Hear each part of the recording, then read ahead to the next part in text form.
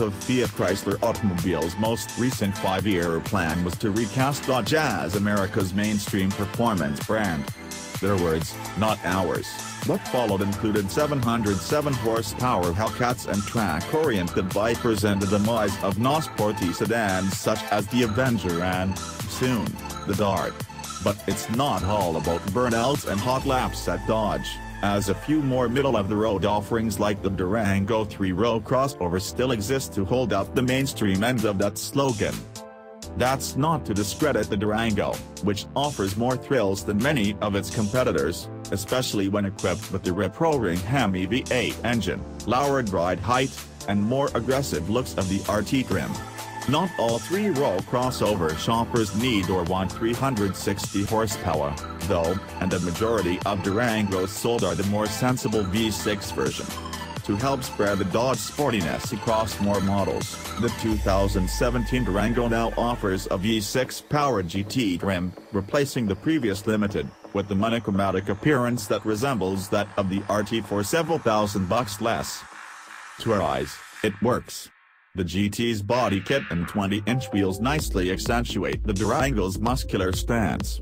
Our test car also had the $595 Brass Monkey package, which paints those wheels an attractive shade of bronze. We certainly hope the Beastie Boys are getting royalties. So-so numbers. The performance angle fades a bit when you look at the Durango's test numbers. To its credit, this 2017 version was a bit quicker than a similar V6 AWD model we tested three years ago, getting from 0 to 60 miles per hour in 7.4 seconds and running the quarter mile in 15.7 seconds at 89 miles per hour, 0.2 and 0.1 second better than before.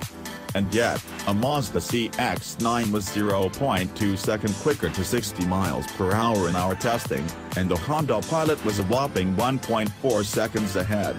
Don't go stoplight drag racing other crossover driving parents unless you've splurged for the Durango V8, which does 0 to 60 miles per hour in 6.2 seconds skid pad grip of 0.76 grams and a 70 to 0 mile per hour braking distance of 182 feet also lagged behind the Mazda and the Honda, which is no surprise considering that the 5,111-pound Durango weighs nearly 800 pounds more than either Japanese brand SUV.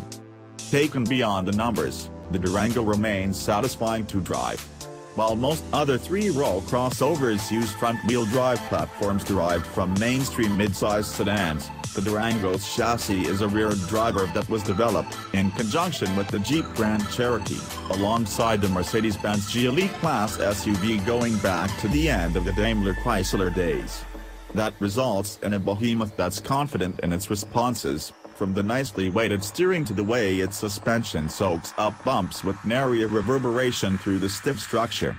The 3.6-liter Pentastar V6 engine also enjoys its job motivating the big Durango, doing so with adequate punch and a pleasing engine note to boot, even if it can't match the growl of the Hemi.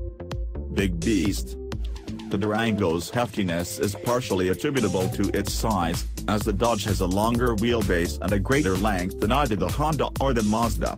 Despite its larger footprint, the Dodge's rear drive layout isn't quite as space-efficient as the Pilot, which has more passenger volume, and the interior feels less airy and spacious than the Honda's. And our test Durango's all-black cabin did nothing to help it feel any roomier. Still, the Dodge's second and third row seats are comfortable even for adults, with the back row's elevated theater seating position helping to avoid the knees in your chest feeling prevalent among many three-row SUVs. The seats fold and tumble easily, too, and our only real complaint with the rear seat setup is that the second row bench doesn't slide.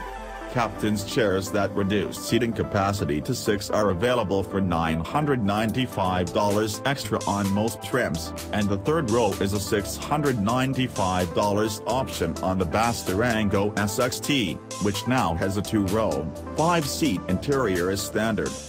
Our 7-seat test car was loaded with a $2,395 premium package, Beats audio system, navigation, power liftgate, and a sunroof, and a $1,195 safety and security package, blind spot warning, automatic high beams, HID headlights, rain-sensing wipers, and a power-adjustable steering column.